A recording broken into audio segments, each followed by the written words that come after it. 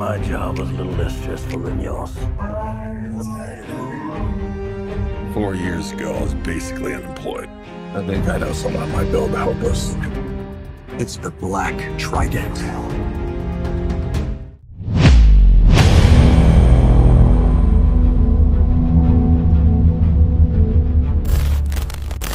Akhirnya yang ditunggu-tunggu para pencinta film superhero, DC Studio telah merilis trailer terbaru Aquaman and the Lost Kingdom. Aquaman menjadi salah satu karakter superhero yang diadaptasi DC Comics dan didistribusikan oleh Warner Bros.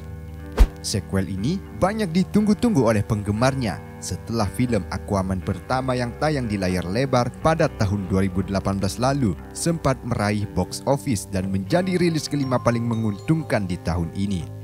Sempat dirumorkan tayang perdana di layar lebar pada Desember 2022, namun jadwal tayang Aquaman and the Lost Kingdom ini terjadi kemunduran menjadi Maret 2023.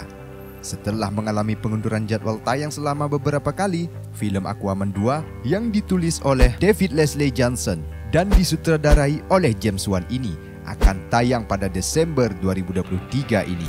Mundurnya jadwal tayang mereka rupanya terjadi lantaran terjadinya pandemi COVID-19 yang mengganggu proses syuting. Melanjutkan dari kisah pertamanya dari film Aquaman 2018, kini penonton akan kembali fokus pada sosok Arthur Curry atau Aquaman yang menjadi tokoh utama. Di sequelnya ini, Arthur menjadi seorang ayah, sekaligus menjadi Raja Atlantis untuk menggantikan tahtanya. Arthur akan berhadapan dengan musuh yang sama dengan film pertamanya, yakni Black Manta.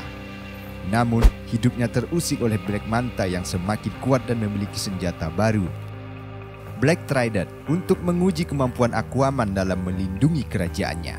Ancaman Black Manta kini semakin kuat berkat kekuatan kuno dari Black Tyrant yang memiliki kekuatan magis yang dahsyat. Black Manta memiliki dendam pribadi dan keinginan kuat untuk menghancurkan Aquaman. Untuk melawan Black Manta, Aquaman bersekutu dengan Orm, mantan Raja Atlantis yang sebelumnya menjadi lawan. Mereka harus bersatu dan berjuang bersama untuk melindungi Atlantis dari kehancuran. Kehadiran Black Manta menimbulkan ancaman yang serius bagi Atlantis, sehingga keadaan ini memaksa Arthur untuk bekerja sama dengan saudaranya King Orm yang selalu bermusuhan dengan Arthur.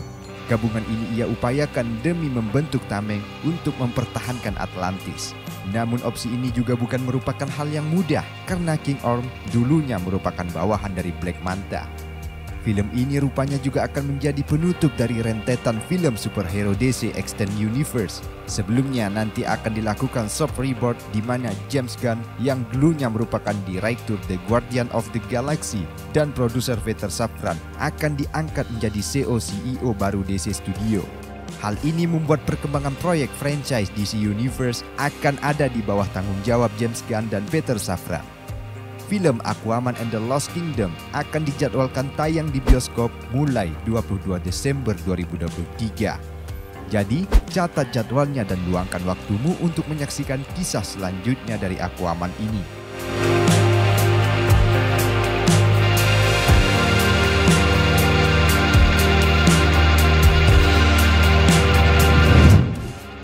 Nah, itulah beberapa informasi seputar film Aquaman and the Lost Kingdom. Apakah kalian tertarik untuk menonton film yang satu ini? Silahkan komen di bawah. Terima kasih sudah menonton video ini.